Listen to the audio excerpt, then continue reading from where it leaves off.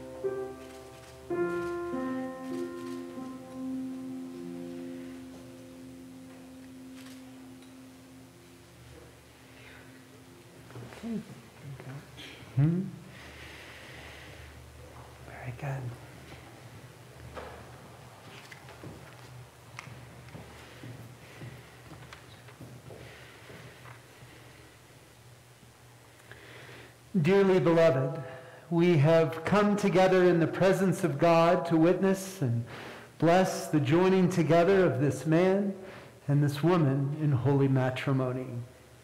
The bond and covenant of marriage was established by God in creation, and our Lord Jesus Christ adorned this manner of life by his presence and first miracle at a wedding in Cana of Galilee. It signifies to us the mystery of the union between Christ and his church, and the Holy Scripture commends it to be honored among all people. The union of two people in heart, body, and mind is intended by God for their mutual joy, for the help and comfort given one another in prosperity and adversity, and when it is God's will for the procreation of children and their nurture in the knowledge and love of the Lord. Therefore, marriage is not to be entered into unadvisedly or lightly, but reverently, deliberately, and in accordance with the purposes for which it was instituted by God. Francie, will you have this man to be your husband, to live together in the covenant of marriage? Will you love him, comfort him, honor and keep him in sickness and in health, and forsaking all others, be faithful to him as long as you both shall live? I will. Jared, will you have this woman to be your wife, to live together in the covenant of marriage?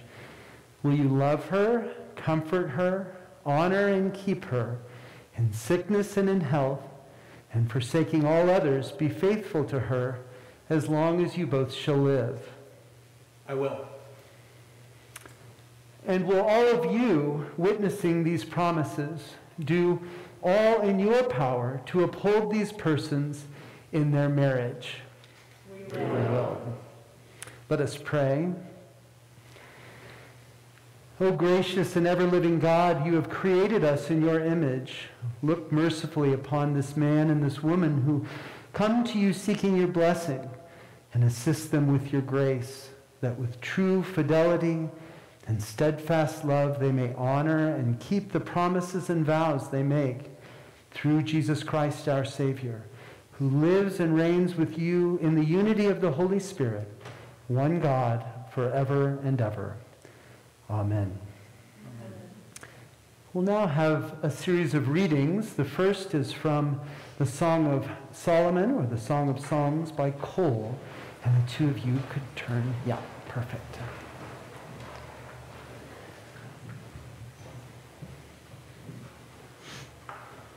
A reading from the Song of Solomon. Set me as a seal upon your heart, as a seal upon your arm. For love is strong as death, passion fierce as the grave. Its flashes are flashes of fire, a raging flame. Many waters cannot quench love, neither can floods drown it. If one offered for love all the wealth of one's house, it would be utterly scorned. Here ends this reading. And now we have a poem read by Miranda.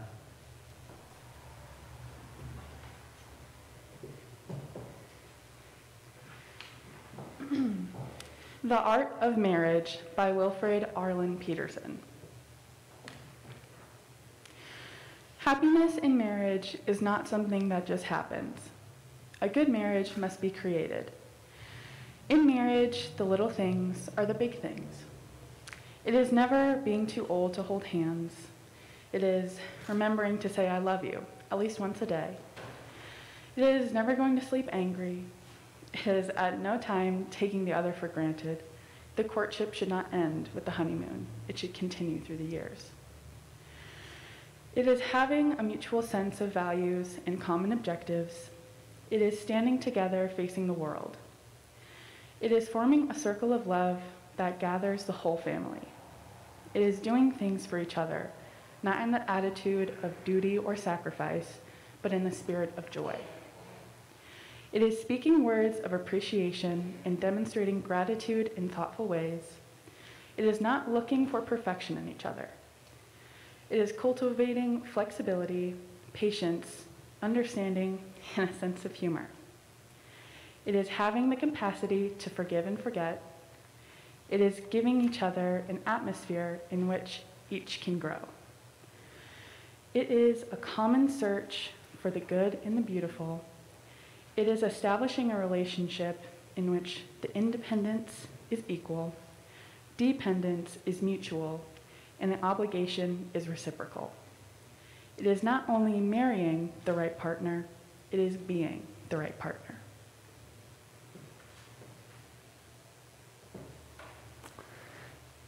And now we'll have a reading from 1 Corinthians by Kyler. A reading from 1 Corinthians. If I speak in the tongues of mortals and of angels, but do not have love, I am a noisy gong or a clanging cymbal. And if I have prophetic powers and understand all mysteries and all knowledge, and if I have all faith so as to remove mountains, but do not have love, I am nothing. If I give away all my possessions, and if I hand over my body so that I may boast, but do not have love, I gain nothing. Love is patient. Love is kind. Love is not envious or boastful or arrogant or rude. It does not insist on its own way. It is not irritable or resentful. It does not rejoice in wrongdoing, but rejoices in the truth. It bears all things, believes all things, hopes all things, endures all things. Love never ends. But as for prophecies, they will come to an end. As for tongues, they will cease. As for knowledge, it will come to an end. For we know only in part, and we prophesy only in part. But when the complete comes, the partial will come to an end. When I was a child, I spoke like a child. I thought like a child, I reasoned like a child. When I became an adult, I put an end to childish ways. For now we see in a mirror dimly, but then we will see face to face. Now I know only in part. Then I will know fully, even as I have been fully known.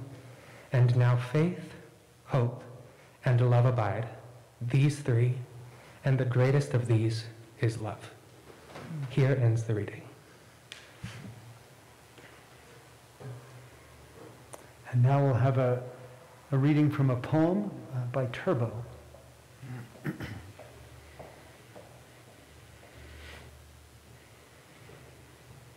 To love is not to possess by James Kavanaugh. To love is not to possess, to own or imprison, nor to lose oneself in another, nor do- docilely living separate lives in silence. It is to be perfectly oneself and perfectly joined in permanent commitment to another and to one's inner self. Love only endures when it moves like waves, receding and returning gently or passionately, or moving lovingly like the tide in the moon's own predictable harmony. Because finally, despite a child's scars or an adult's deepest wounds, that are open freely to be who they really are, and always secretly were in the very core of their being, where true and lasting love can be alone. This ends the reading. And the two of you can turn again, and please rise for the reading of the gospel. This is uh, the Gospel of John, chapter 15, starting with the ninth verse. As the Father has loved me, so I have loved you. Abide in my love. If you keep my commandments, you will abide in my love, just as I have kept my Father's commandments and abide in his love. I have said these things to you so that my joy may be in you and that your joy may be complete. This is my commandment, that you love one another as I have loved you. This is the gospel of the Lord. You may be seated. For the message, the message today, the homily is going to begin with a, a poem written by Lex, one of Francesca's closest friends. And so if you could go uh, and perfect, and maybe take the microphone and bring it over here. Yeah. Perhaps you have loved each other for lifetimes. Perhaps every version of the both of you was made to love the other. Perhaps the feeling is nothing but coming home, having loved each other for an eternity. Maybe every cell in you whispers, it's nice to see you again every time that she smiles, or cries, or wakes up on a crisp January morning. And maybe there's comfort in the thought of a love that transcends timelines traverses the universe, and conspires for you. But imagine instead that you were never destined to be. Think of the ways that you have carved a life together anyhow, woken up and decided for yourselves that this is the life worth living. Maybe it was always meant to be, but maybe you'll wake up every day and fight to keep this togetherness. Wade through that ink black midnight and seemingly never ending storm in order to find your way back to each other. Regardless of whether or not the universe plucked you both from the cosmos and whispered this love into existence, you are both plants growing in the same soil with your roots entwined. You, go to you grow together but bloom independently, creating a landscape of each other. And I think that's beautiful. Mm-hmm. Thank you, Lex.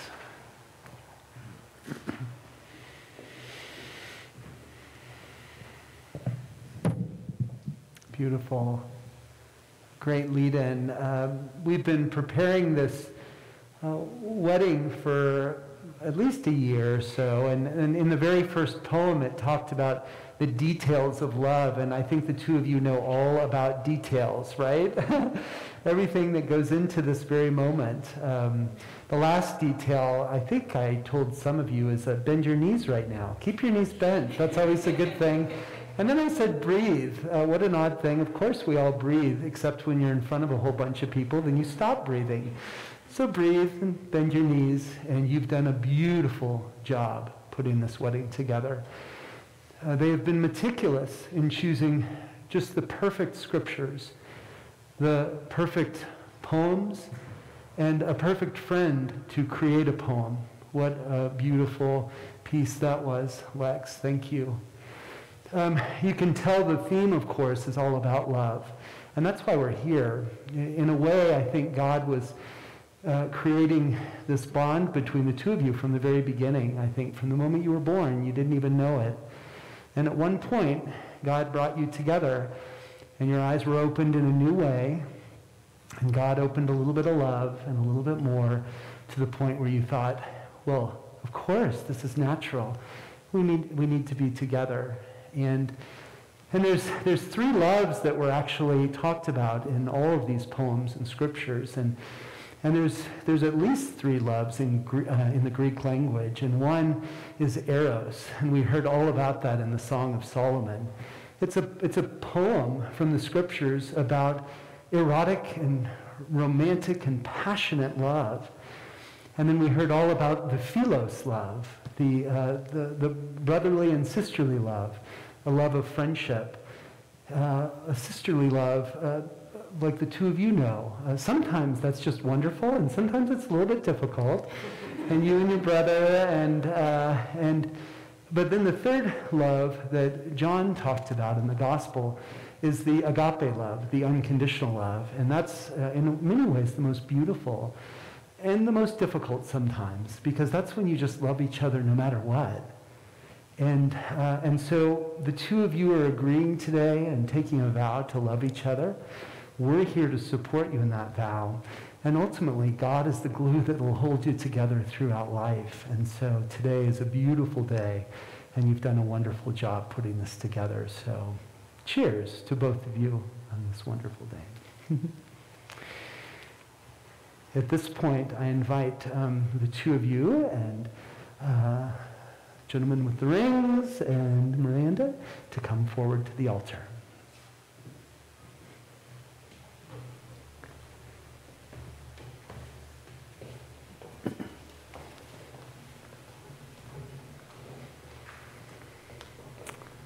That's good. You can stand right here, and Miranda, you could help her turn, and you can turn and face each other.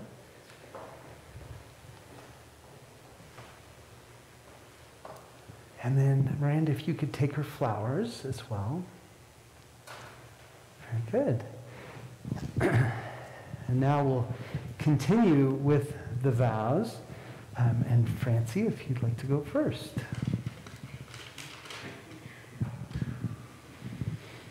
Okay, so we all know how this is going to be. So just bear with me for a minute.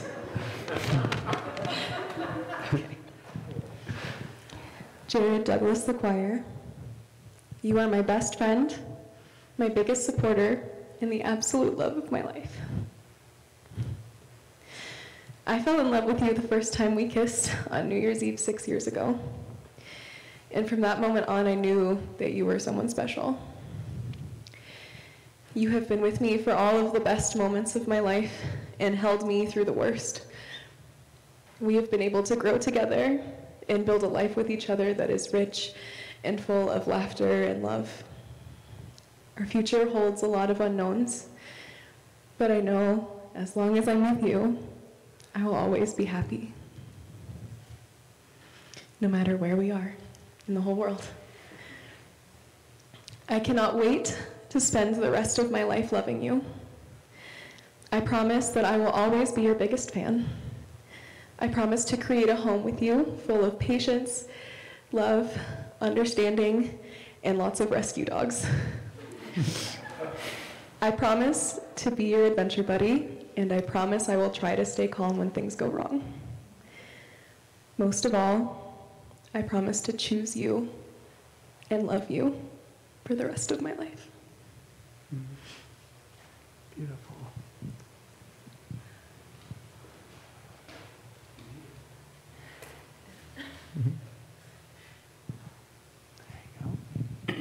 All right, so anybody who knows me, I like to ramble, so I'm going to try to keep this short. I did write it down this time, so we are in good shape. I stand here before you as a product of those closest to me my parents, my family, my friends, but most of all, you. You are the single greatest driving force in shaping the man standing in front of you. I am wearing a uniform that I may not be wearing without you. You make me better. I say that all the time. For this, I promise you I will never stop striving to be a better person, now a better husband, and in the future, a better father. Your strength and compassion for our love and future has never wavered. And I promise you that I will care for you and above all, strive to be better for you. I love you. Beautiful.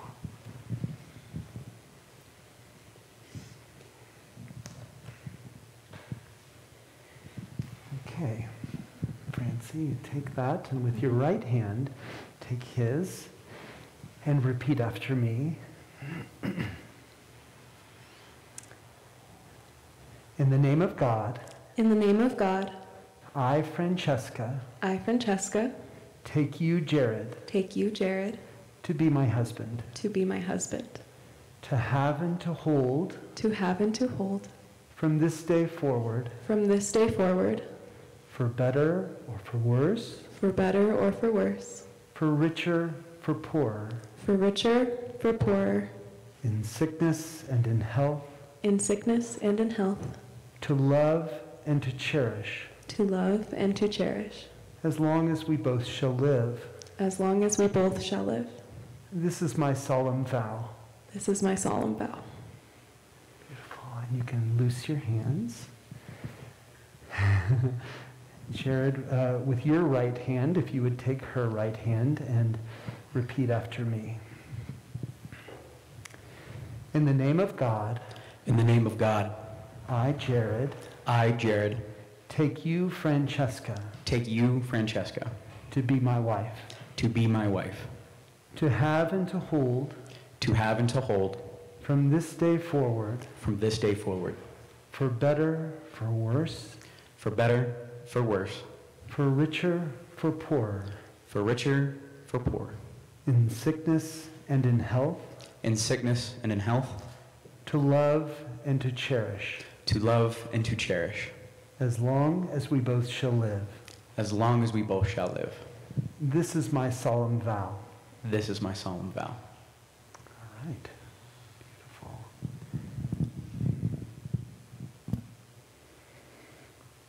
If I could have the rings at this time, please. Very good. I'll offer a blessing on these rings, and then they'll offer them to each other. Bless, O Lord, these rings to be a sign of the vows by which this man and this woman have bound themselves to each other through Jesus Christ, our Lord. Amen. Okay, Francie, I'm going to have you take the microphone again, and let's make sure it's on. And now, if you would place his ring on his left hand, left ring finger, and just hold it on there, kind of hold his hand. Perfect. And then repeat after me. Jared, I give you this ring Jared, I give you this ring as a symbol of my vow, as a symbol of my vow, with all that I am with all that I am and all that I have. and all that I have. I honor you I honor you in the name of the Father, in the name of the Father, and of the Son, and of the Son, and of the Holy Spirit. and of the Holy Spirit. Amen. Amen. Okay. You can loose your hands and hand him the microphone, and if you would take her ring and place it on her left hand and left ring finger.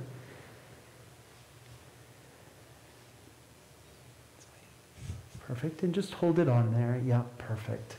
And then repeat after me. Francesca, Francesca, I give you this ring I give you this ring as a symbol of my vow. as a symbol of my vow, And with all that I am and with all that I am and all that I have, and all that I have, I honor you I honor you in the name of the Father, in the name of the Father, and of the Son, and of the Son, and of the Holy Spirit. And of the Holy Spirit. Amen. Amen.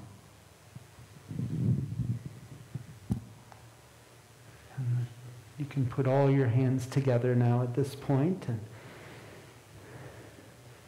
I wrap their hands in what's known as the stole. It's the sign that the, the cloth that the clergy wears, a reminder that they're there to serve each other and love each other in life. Now that Francesca and Jared have given themselves to each other by solemn vows, with the joining of hands and the giving and receiving of rings, I pronounce that they are husband and wife in the name of the Father and of the Son and of the Holy Spirit. Amen. Those whom God has joined together, let no one put asunder. Amen. Very good. And let us pray. Eternal God, creator and preserver of all life, author of salvation, giver of all grace. Look with favor upon the world you have made, and for which your Son gave his life, and especially upon these two people whom you make one flesh in holy matrimony. Give them wisdom and devotion. Grant that their wills may be so knit together in your will, and their spirits in your spirit. Give them grace when they hurt each other to recognize and acknowledge their fault and seek each other's forgiveness. Make their life together a sign of love. Bestow upon them, if it is your will, the gift and heritage of children. Give them such fulfillment of their mutual affection that they may reach out in love and concern for others. Grant that all married persons who have witnessed these vows today may find their lives strengthened and their loyalties confirmed. And grant that the bonds of our common humanity, by which all your children are united one to another, and the living to the dead, may be so transformed by your grace that your will may be done on earth as it is in heaven, where, O Father, with your Son and Holy Spirit, you live and reign in perfect unity, now and forever. Amen. If I could have the two of you kneel at this time now, and Miranda, if you could help them out a little bit here. Perfect.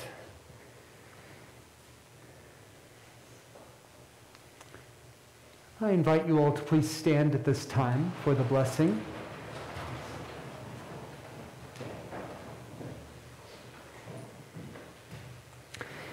O oh God, you have so consecrated the covenant of marriage that in it is represented the spiritual unity between Christ and his church Send therefore your blessing upon these your servants, that they may be that they may so love, honor, and cherish each other in faithfulness and patience, in wisdom and true godliness, that their home may be a haven of blessing and peace through Jesus Christ our Lord, who lives and reigns with you and the Holy Spirit, one God, now and forever. Amen. God the Father, God the Son, God the Holy Spirit, bless, preserve, and keep you. The Lord mercifully with his favor look upon you and fill you with all spiritual benediction and grace, that you may be faithfully living together in this life and in the age to come have life everlasting. Amen. Okay, you can stand at this time and turn towards the people. I now would like to introduce to you Mr. and Mrs. Leuquire. You may now kiss the bride.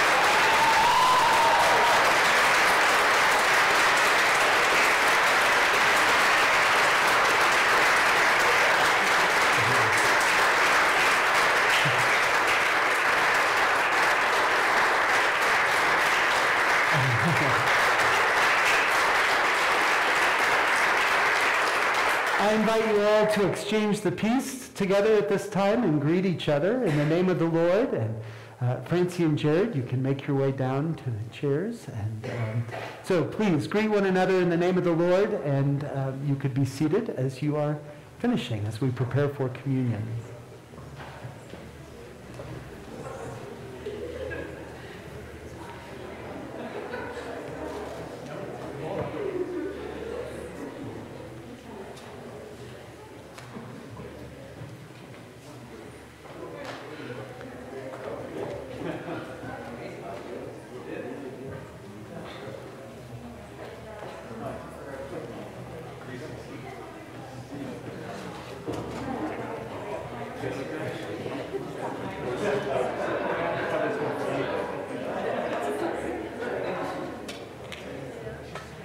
And as you finish the piece, you're welcome to be seated. Um,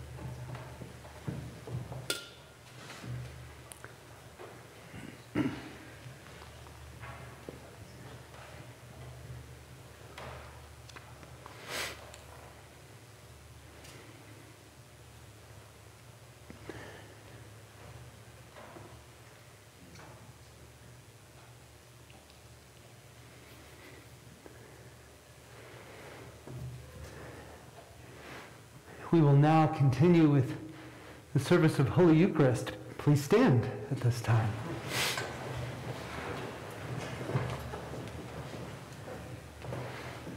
As the Lord is with us, we lift up our hearts and we give thanks. And it is a good and joyful thing always and everywhere to give thanks to you, Father Almighty, creator of heaven and earth. Because in the love of two people, you have given us an image of the heavenly Jerusalem as one in Christ. Therefore, we praise you, joining our voices with angels and archangels, and with all the company of heaven, who forever sing this hymn to proclaim the glory of your name. Holy, holy, holy Lord, God of power and might, heaven and earth are full of your glory. Hosanna in the highest. Blessed is he who comes in the name of the Lord. Hosanna in the highest. Holy and gracious Father, in your infinite love you made us for yourself. And when we had fallen into sin and become subject to evil and death, you in your mercy sent Jesus Christ, your only and eternal Son, to share our human nature, to live and die as one of us, to reconcile us to you, the God and Father of all. He stretched out his arms upon the cross and offered himself in obedience to your will a perfect sacrifice for the whole world. On the night he was handed over to suffering and death, our Lord Jesus Christ took bread, and when he had given thanks to you, he broke it and gave it to his disciples and said, Take, eat. This is my body, which is given for you. Do this for the remembrance of me.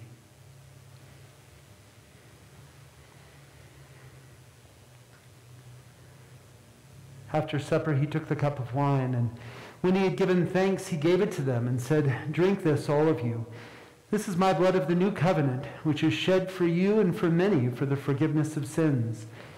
Whenever you drink it, do this for the remembrance of me.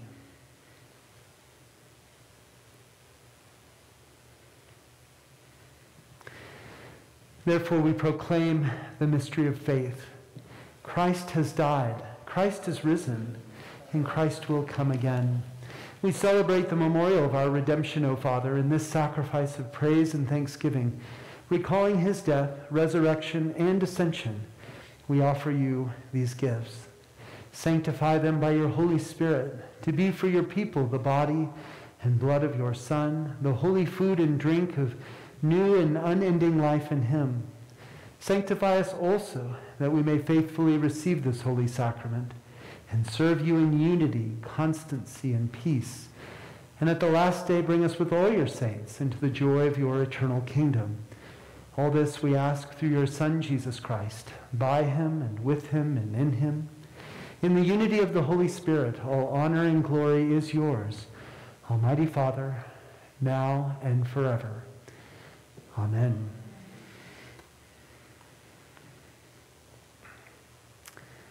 And now, as our Savior Christ has taught us, we now pray Our Father, who art in heaven, hallowed be thy name.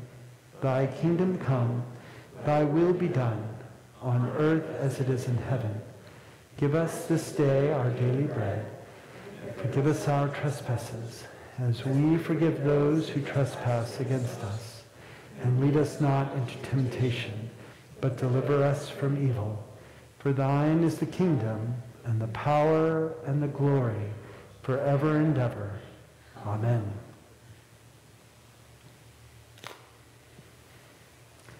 Alleluia, Christ our Passover is sacrificed for us. Therefore, let us keep the feast. Alleluia. The gifts of God for the people of God. Take them in remembrance that Christ died for you and feed on him in your hearts by faith with thanksgiving. Amen. You may be seated at this time. If you would like communion, I will be bringing it out uh, of the bread only. And if you'd like it, uh, you're welcome. Uh, just put one hand over the other. That will cue me that you'd like communion as I come down the aisle. You can make your way over. To the center aisle. And if you uh, do not want to take communion, just put both of your arms over your chest as I come by, and it'll cue me uh, to offer a blessing as I go by. But you are welcome.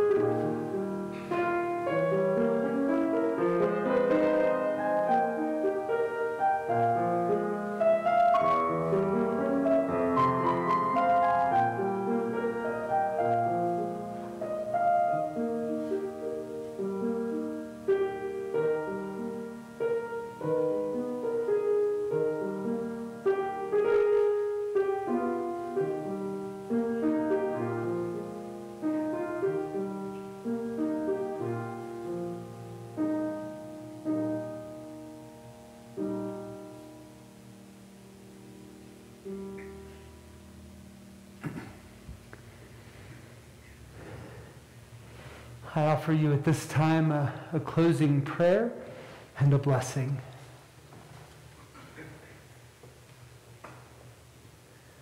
Let us pray. O God, the giver of all that is true and lovely and gracious, we give you thanks for binding us together in these holy mysteries with the body and blood of your Son, Jesus Christ. Grant that by your Holy Spirit, Francesca and Jared, now joined in holy matrimony, may become one in heart and soul, live in fidelity and peace, and obtain those eternal joys prepared for all who love you, for the sake of Jesus Christ our Lord. Amen. And the blessing of God Almighty, the Father, and the Son, and the Holy Spirit be with you and remain with you always. Amen. Okay, Francie, Jared.